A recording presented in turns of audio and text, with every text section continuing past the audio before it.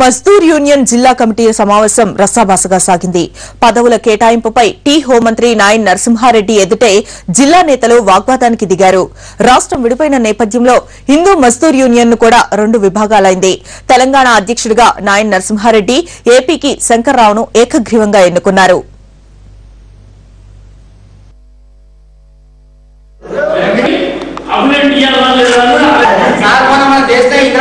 చేస్తే పబ్లిక్ చేసిన పార్క్లో కూర్చోబెట్టడం జెండా లేకుండా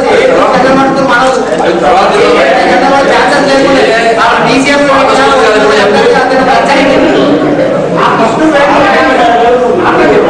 బ్యాలెట్ లేవని చెప్పడం కరెక్ట్ మీరు జెండా లేవంటే హెచ్ఎంఏ జెండా లేకుండా ఏ డిసిజన్ జెండా పట్టుకున్నారు హెచ్ఎంఐ జెండా ఎందుకు లేదు? హెచ్ఎంఐ జెండా ఎందుకు లేదు?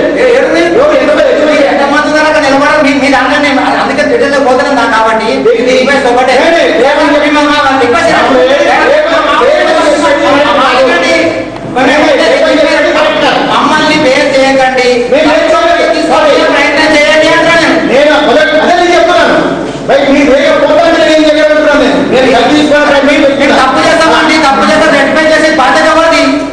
ఎవరిది? బాధ్యత?